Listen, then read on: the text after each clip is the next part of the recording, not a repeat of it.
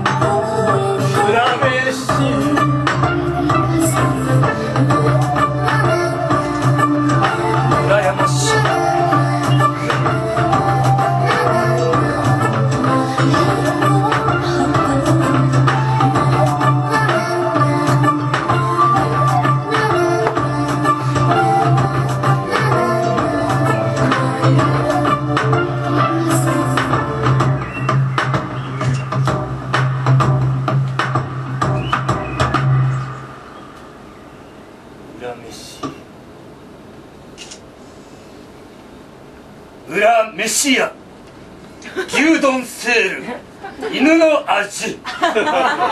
えー、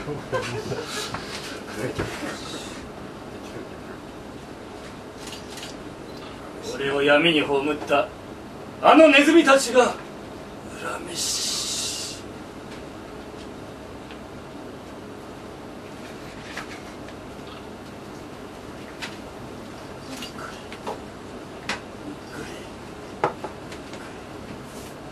急祖俺を噛む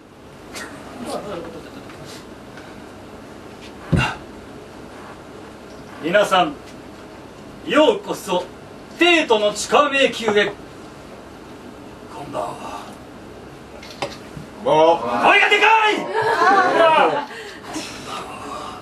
こんばんは。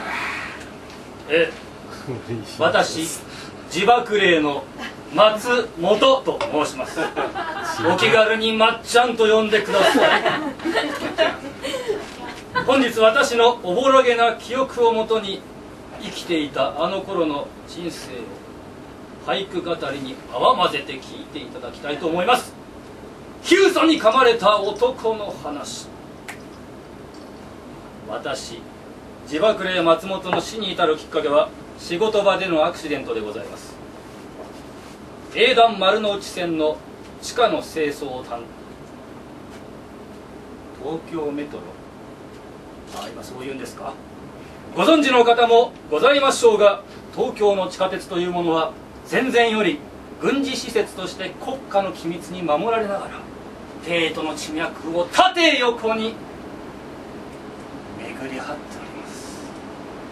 それは皇居を中心に都内の軍事施設の有事の際に使用する。軍事本位のもので今日に至るまで知る人は少なくましてそうして掘られたさまざまな穴蔵に今日の大東京の駅開発は進められちょっと前髪が。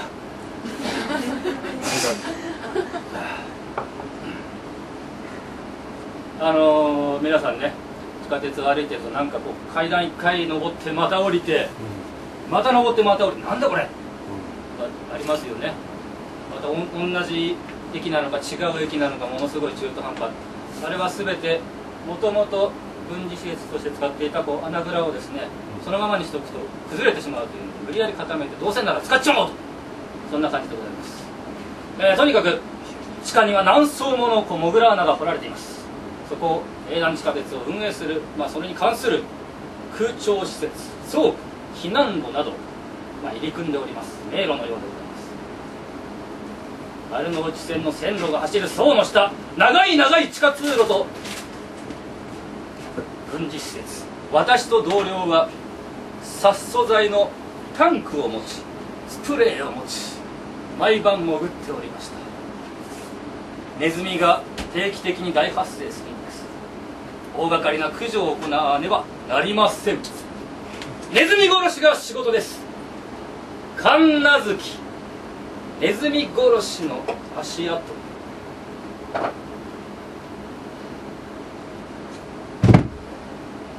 細い地下迷宮を這いずるように調べ回っている時でした。旧日本軍が残した古い施設のために一部の地盤が脆くなってあららららららららららららら落ちるの俺落ちるの俺落ちるのあ落ちた落ちた私は小さな裂け目に落ちてしまいましたうそ殺素材のタンクはチューブから外れて上の通路へ。そう。どこ？おーい！おーい！あ！おーい！呼べど叫べど。声は届かずふと見ると暗闇の中に何千何万という小さな瞳たちがこちらを見ています。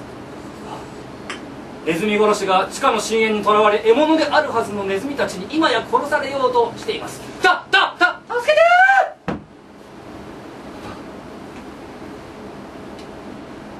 もうこうなったら覚悟を決めましょう。私はネズミたちと向かい合いそして語りかけました。ああ君らが人間を恨む気持ちはわかる。